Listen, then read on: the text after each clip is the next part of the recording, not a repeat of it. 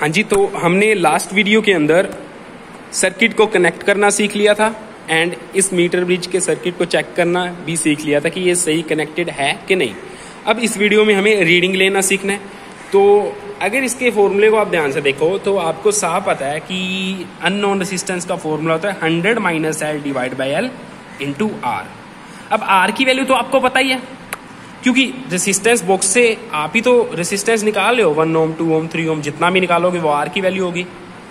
अगर आपको एल की पता, लग जाए वैल्यू तो एस की वैल्यू भी फिर पता लग जाएगी। तो हमें अब प्रैक्टिकल की हेल्प से एल की वैल्यू यानी कि balancing length on metre bridge find करनी है। वो कैसे फाइंड करेंगे? इसके लिए मैं आपको दो तीन रीडिंग लेके दिखाता हूँ एक।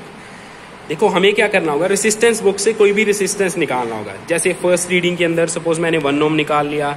सेकेंड रीडिंग के अंदर टू ओम निकाल लूँगा थ्री ओम निकाल लूँगा, या फिर आप टू ओम फिर फोर ओम फिर सिक्स ओम कैसे भी निकाल सकते हो। सपोज़ मैंने फ़र्स्ट रीडिंग के लिए वन ओम रेसिस्टेंस बाहर निकाल रखा है, निकाल लिया। इसके बाद क्या करूँगा मैं? बैलेंसिंग लेंथ चेक करूँगा। बैलेंसिंग लेंथ कैसे चेक करेंगे? इस जॉकी को रब करना है मीटर ब्रिज की वायर के ऊपर और गलवैनोमीटर के डिफ्लेक्शन को देखना है। हमने देखना है कि किस जगह पे डिफ्लेक्शन ज़ीरो आ रहा है। किस जगह पे डिफ्लेक्शन ज़ीरो आ रहा है। तो देखो, जैसे मैंने यहाँ पे उधर से लगना है, ठीक है? किनारे से लगना है। मैं देख रहा हूँ कि डिफ्लेक्शन गलवैनोमीटर के अंदर, एक मिनट वन मिनट रुको। देखो डिफ्लेक्शन आ रहा है, ठीक है? डिफ्लेक्शन आ रहा है, यहाँ पे भी आ रहा है, यहाँ पे भी आ रहा है, यहाँ पे भी है, यहाँ पे भी है, ठीक है? धीरे धीरे, बिल्कुल हल्का हल्का रब करना है, ज़्यादा ज़ोर से रब नहीं करना, क्योंकि इससे वायर की थिकनेस चेंज हो जाएगी। और वायर की थिकनेस चेंज होने से इसका पोटेंशियल ग्रेडियंट चेंज हो जाता है, जो कि थ्योरी में आपने अच्छी तरह से पढ़ा हुआ है।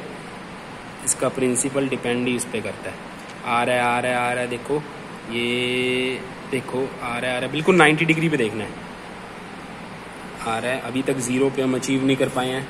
बिल्कुल पास पहुँच गए हैं। ये देखो। एक मिनट दिख रहा है कि नहीं आपको? ये देखो ज़ीरो डिफ्लेक्शन आ गया। ये देखो, कहाँ पे ज़ीरो डिफ्लेक्शन मिला, ये है सिक्सटी सिक्स पॉइंट फाइव पे।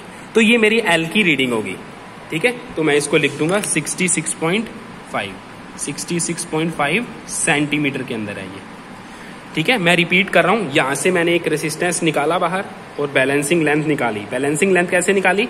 मैं जोकी को वायर के ऊपर रब करता आ रहा हूँ गलवेनोमीटर के अंदर रिफ्लेक्शन आ रहा है। लेकिन एक पॉइंट ऐसा आएगा जहाँ पे डिफ्लेक्शन ज़ीरो हो जाएगा। जहाँ पे डिफ्लेक्शन ज़ीरो हो जाएगा, वहाँ पे जोकी को रोक देना है और फ़र्स्ट टर्मिनल से लेंथ मेजर कर लेनी है, कितनी आई है। ठीक है? तो ये हमारा हो गया एल निकालना। इसी तरह से मैं क्या करूँगा? फिर जैसे वन ओम निकाला था, अब ये वन ओम तो अंदर है टू ओम निकाल लिया, फिर से बैलेंसिंग लेंथ निकाल लूँगा, फिर ये भी निकालूँगा एंड वन एंड टू अब दोनों बाहर है तो टोटल थ्री ओम बाहर है।